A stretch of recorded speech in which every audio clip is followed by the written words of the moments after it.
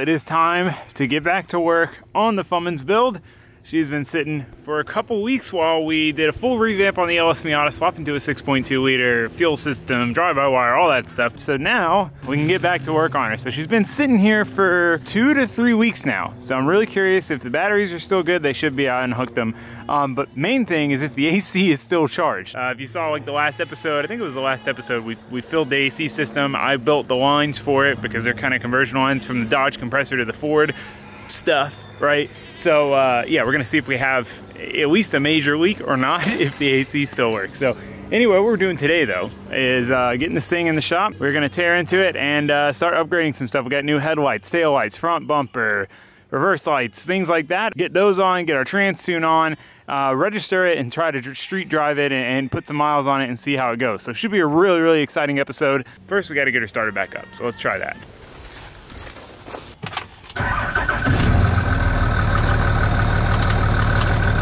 AC on blast. All right, right up though. Looks so good with all this cooling stuff, the red. I love it.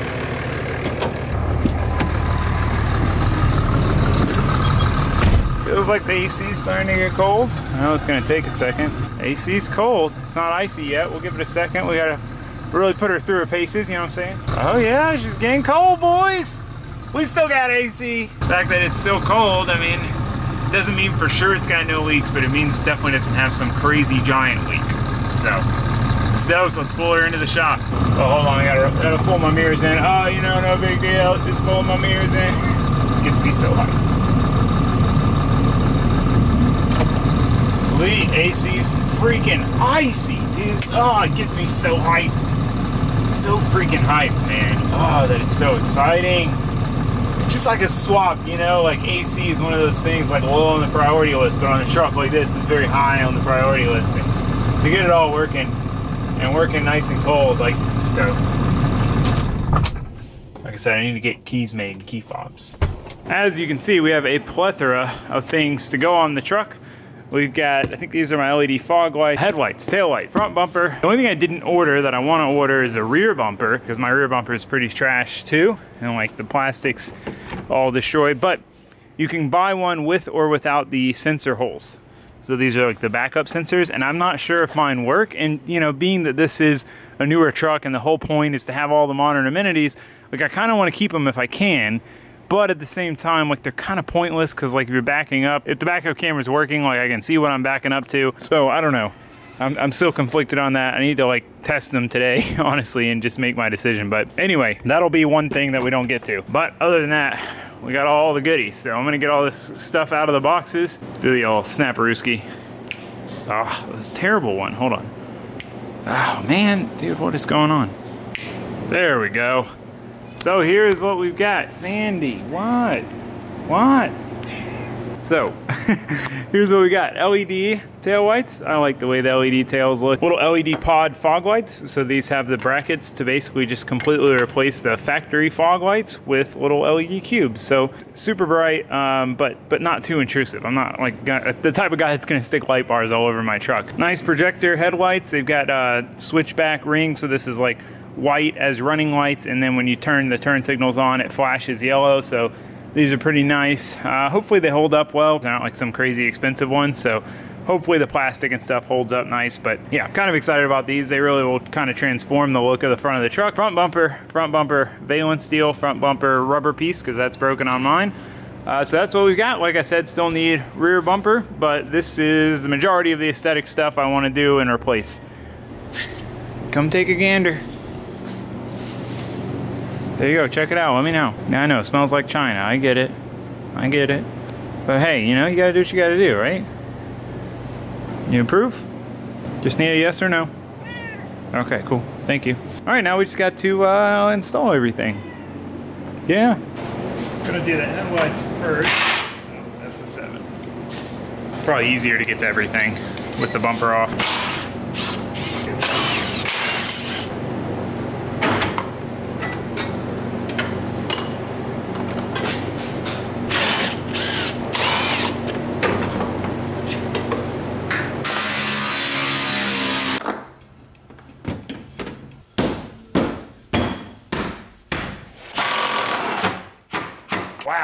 that makes a big freaking difference, dude. Holy cow. Wow, what a difference. I'll shut the hood once you get the other one on. So I do need to get a switchback uh, LED for this center one. I ordered those, um, and I ordered them in LED instead of standard. Um, so I have the bad one in there, so that might not even light up, but you can at least see what they look like. Whoo, look at that snazziness. Wow, that looks good. Let's do the turn signal, see if it works, see if we got it wired up right. Yeah, check it out, dude. It's flashing fast because the other one's not hooked up, but it's working. Sweet, it all works. Like I said, all we gotta do is replace this guy down here. Sweet. I'm gonna throw the other side in and then we'll, we'll see what it looks like with the hood shut. All right, let's see what it looks like. Ooh, buddy. Gosh, that looks so much better. It is so wild, the difference the some headlights will make. It looks like more 2017-ish with the thing. Oh, I'm stoked on that. I can't wait to get the bumper on. Let's do a little side comparison. So like, what a massive freaking difference, dude. Massive difference. Like I said, I just hope these hold up. Turn them on. Let's turn the lights on. See what, see what we got. So sick. Definitely just got to change those running lights so that they match everything else these guys. But otherwise, man, that looks so pimp. Oh no, one of my cab lights is out. Look at that, man. I'm sorry. Sorry, guys. Freaking headlights. You guys are like, dude, Taylor, come on, bro. It's just freaking headlights. Like, relax. Know, it's like this is some big thing. I'm just excited. It looks nice. It's one of those things that's just made the truck look really like dilapidated for a long time. So it's nice to have it fixed. All right, I think we'll toss the uh, new tail lights on next. In hindsight, the tail lights really don't look that bad. um, I just, I don't know, I like LED taillights. The only thing I'm kind of indifferent on is these are like flipped. I think that looks good. Kind of looks like a Dodge though. There we go. Oh yeah, that looks good. I like that. I mean, I guess before I put the other one on, I can give you guys a comparison. Right side, left side. I like it. I dig it. Reverse lights are going to be super bright in that housing too, which is nice. I'm gonna throw the other one on. The inner ricer in me digs it. it. It looks worse in the camera. It looks more ricey in the camera. I guess it does look kind of ricey. Whatever, I like it. Leave me alone. so, uh, front bumper. That's what's next. The new bumper is essentially bare. We do have the new chin splitter and the new top pad because both of those are messed up on the old bumper. Uh, so we got the old bumper here. We just kind of need to strip out all these brackets and stuff, take it off, clean it a little bit, then swap it onto the new shiny, not dented bumper.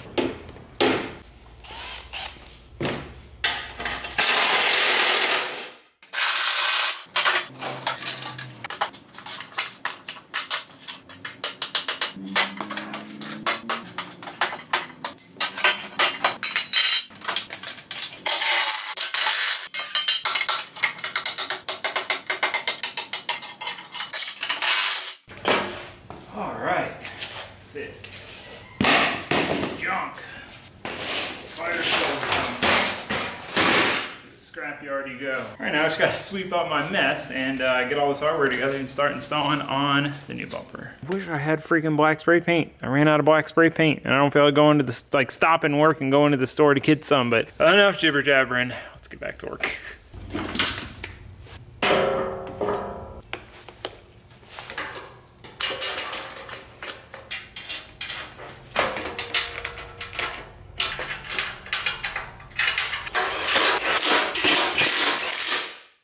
Front bumper is assembled. I've got my new fog lights wired up into the factory harness. I just gotta, you know, clip it in where it goes, and then we gotta throw it on. So not too bad, definitely time consuming just swapping all this stuff over, but I'm really happy with it. I'm definitely glad I went with the nice LED fogs. I think that'll be worth having. Just having LED lights, you know, on the truck, but without them being so intrusive. So anyway, I'm gonna tidy this up and we're gonna try to toss it on the truck.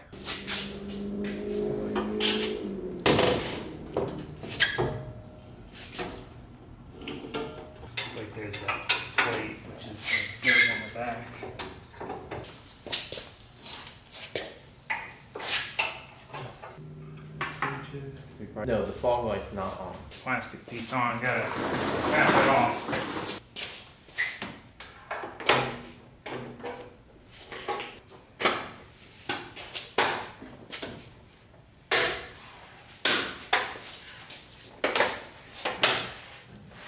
couldn't figure out the fog lights. I gotta diagnose it more. I don't know what the deal is. I can't wire them off like the auxiliary switch because I have four of them. I'm not using them for anything, which would be kind of nice to be able to turn them on with like the headlights off or maybe with the truck off. Figure that out later, it's not important. But we gotta shut the hood with the bumper and the headlight. Man, what a freaking difference that makes. Like, ah, it's just so crazy. Because it, it, the whole time I had it originally, it had the destroyed faded bumper on. It's got a freaking shiny, not destroyed bumper, sweet freaking LED fog lights that I can't get to turn on. Like, sick.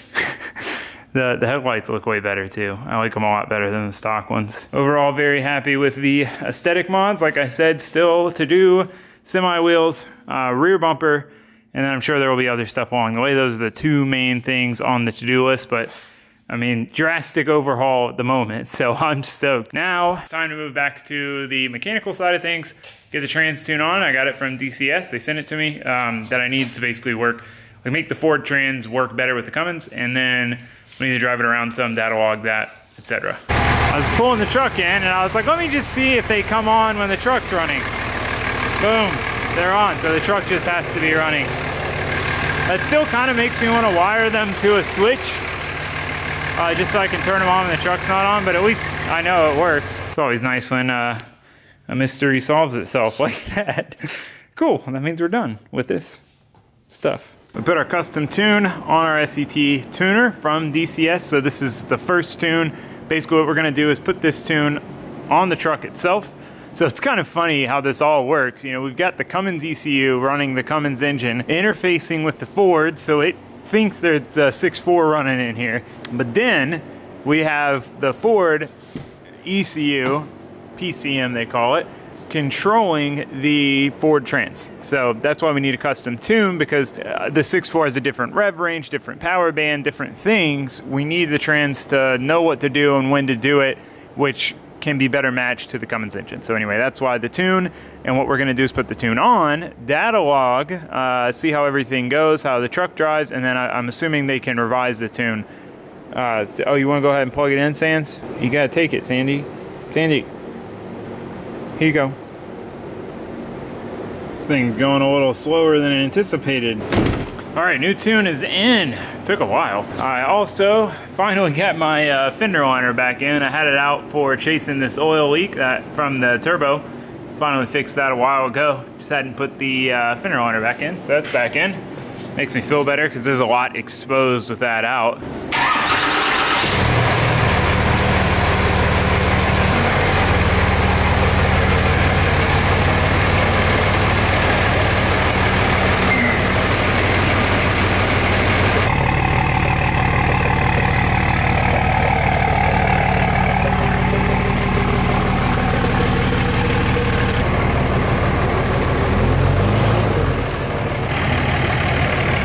she is outside. I did discover one of my taillights isn't working, so I think the plug's just backwards because it can go either way. But the one that is working looks good. Yeah, I really got, I think what that noise is coming from the uh, engine bay here is the engine like touching the firewall. So it's like that vibration transmitted through the sheet metal, making it loud in the cab. Because it's if you listen to the engine bay, there's not hardly much noise at all. A lot less than my other Cummins truck, my old Cummins truck, I should say.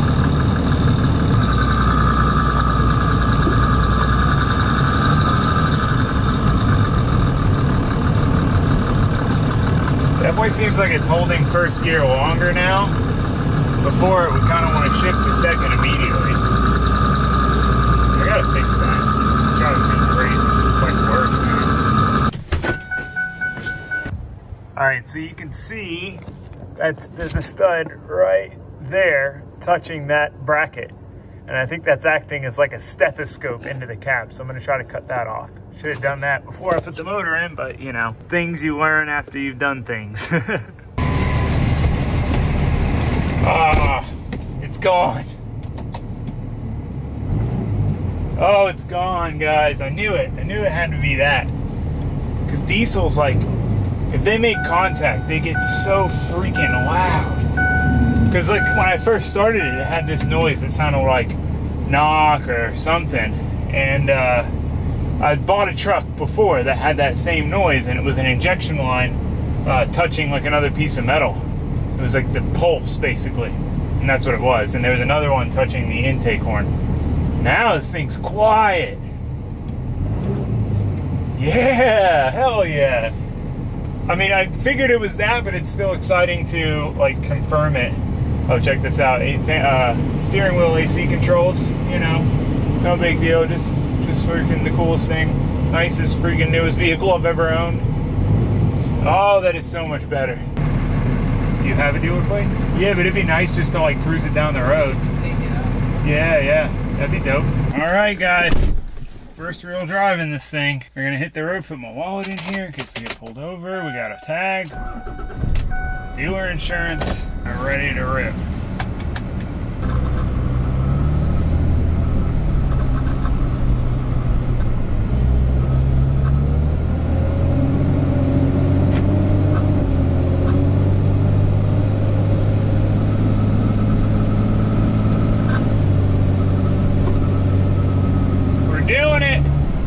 Something's still hitting on the engine bay. You'll hear it every once in a while, but alignment is feels a little wonky, but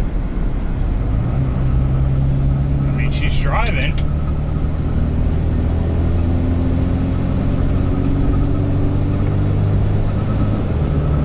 Shifting good, honestly. Oh, we need the data log this. I don't know how we mean, it's freaking quiet in here. That is exactly what I wanted. I wanted something that was going to be nice and quiet inside, like a new vehicle, hardly any diesel clatter. Coolant temps still good. We're not even up to operating temp yet.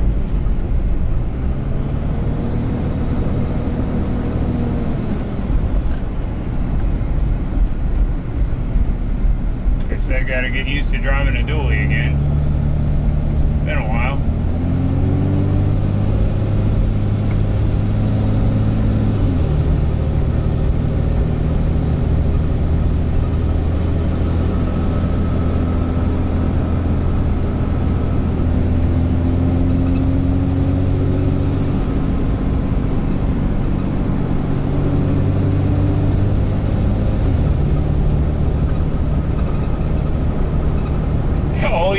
Turbo. that is so sick. Please don't pull out in front of me with your golf cart.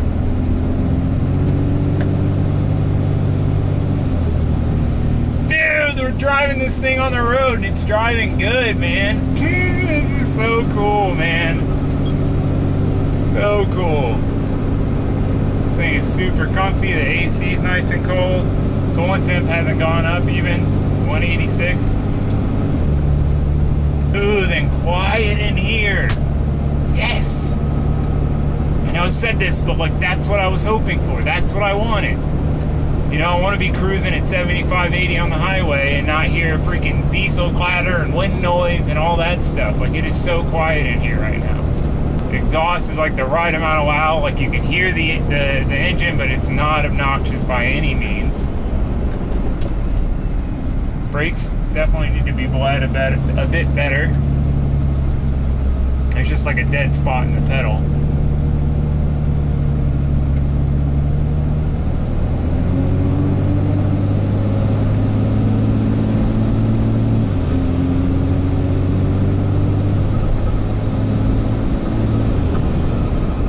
Things are just so slow stock. That was like three quarter throttle. Sorry, you guys have been, probably been blocked this whole time by that tree. Oh, I want to floor it, but I'm like scared. like I said, I'm scared. This thing compared to the Miata, I'm just scared. Try to come to a stop. Someone behind us first.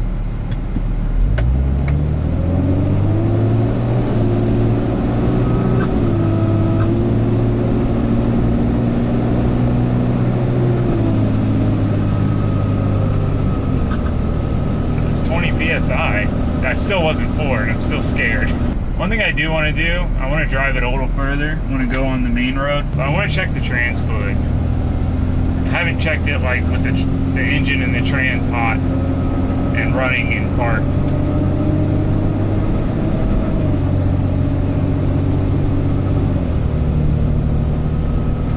It drives nice, man. It's got a little bit of like a bounce to it. I think that's just the stiff suspension unloaded. Yeah, it's crazy what a tune difference is gonna make. That's why the engine tuning is like the last thing, uh, like the last mechanical thing really on the checklist because we weren't able to like download the tune off the ECU. We had trouble with it. And we need that tune to be able to like flash the correct tune in. So anyway, I need to do that. I really need to do that. Because uh, stock tune is not going to cut it for us, boys. All right, let's check this trans fluid.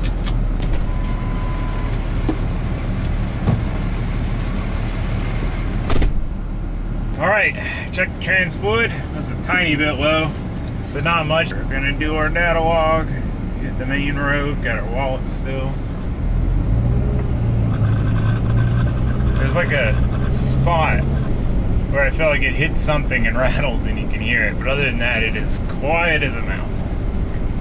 Something an old person would say. I need to get this seat right. Oh, too much, too much.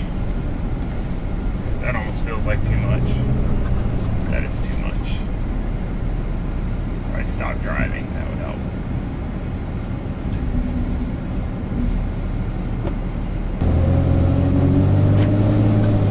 Oh, I feel.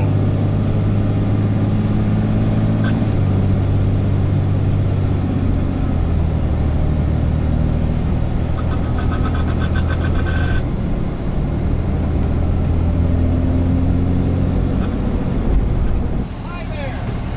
Out. Oh, okay. Thank you. I forgot to re-plug in the tail light.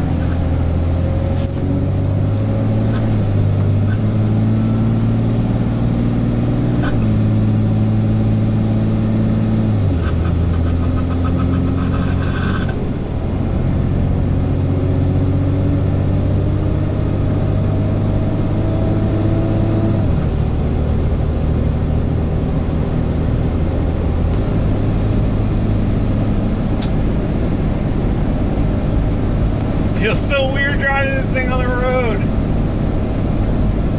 Definitely seems like it's geared a little short, but I mean, I guess 2,000 RPM isn't anything crazy. My Duramax would be higher than that usually. Let's try to go 70.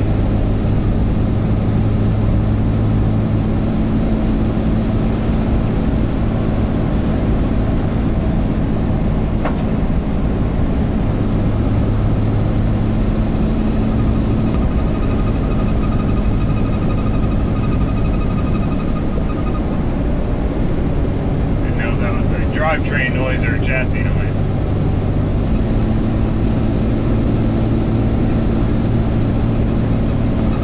Seventy is like twenty two hundred. And it drives good. But I gotta fix that. Squeaky noise, but man, we're, we got that dually turning radius though. Ah, wow, this thing's got good turning radius. Trans or engine temp 190.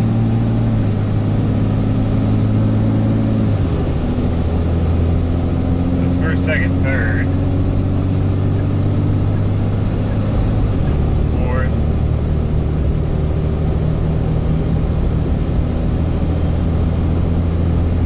I think we might be missing a fifth. Like it's not going into overdrive. Hard to say. It just feel like it just feels like it's not going into overdrive, but I don't know. Examining everything aside, we're going 65 miles an hour down the road. AC is ice cold, seats comfy. Like I am so excited to tow my enclosed with this thing. That is so annoying. What are you squeaking about? Definitely feels like slower than you would expect.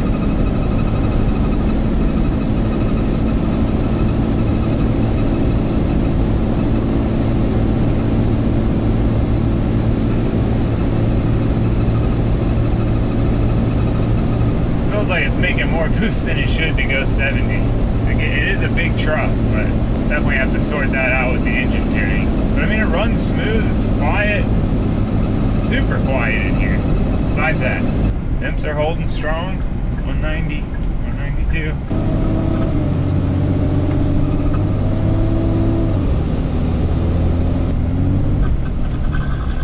It spins spins the tires.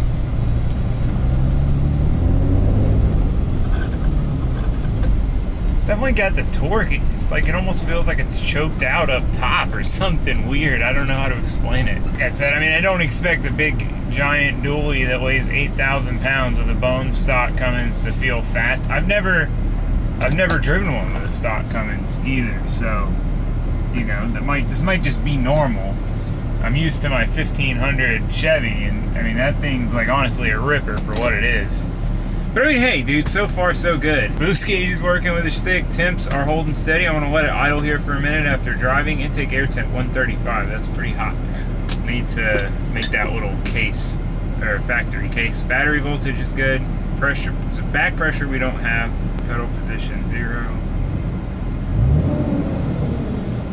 AC still cold. See if the coolant temp goes up. I'm trying to just like basically what I'm trying to do is simulate real world. Like if I just start it up, go drive, come back, turn it off, like that's not gonna simulate driving it around in the real world. Like, you know, I'm gonna be sitting at stoplights with the AC on. I'm gonna be, you know, towing a trailer up a driveway, stuff like that, you know.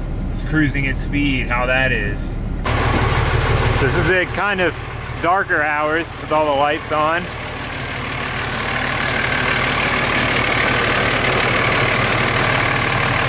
It's a mean looking unit, boys. Gotta fix that cab light. I love cab lights. But engine sounds good. So yeah, that is the first drive. Uh, went honestly incredibly well. Didn't have any failures. Didn't have to get towed back. That's kind of the scary thing with this truck because like Ben's truck or my gas truck, you know, they're gonna have a hard time pulling this behemoth. So anyway, I'm glad glad everything worked out well. Glad the truck drove smooth. Glad we got that interior noise fixed. I really thought that I was gonna have to add some sound deadening there or something. And uh, I, you know, half of me thought that, half of me thought that it was just touching because that's kind of more what it sounded like since it was so quiet in the bay. Uh, so glad that's all it was. I'm glad it's super quiet inside now. I, I'm stoked. I'm stoked. Everything's working. Everything's solid at the moment. So we got to really put it through its paces now. I mean, that that's what's next. So we have the rear bumper in. We'll get the rear bumper on, tidy up some more things. I want to tow my open trailer with my Miata on it, see how that is. If that goes well, I want to tow the big trailer uh, and just see how that goes, unloaded first, and uh, just kind of work my way up and start really, again, putting this thing through its paces because the sooner we get it through its paces, the sooner we can trust it, the sooner we can start taking it on trips. I just, I don't want to take it on a trip without testing it out first. I really don't, breaking down with like my big trailer and this truck like would definitely be a nightmare. So I, again, I want to make sure it's sorted first. But hey, so far so good. Oh, see you guys for the next one. Thanks for watching. Thanks for subscribing. Goodbye.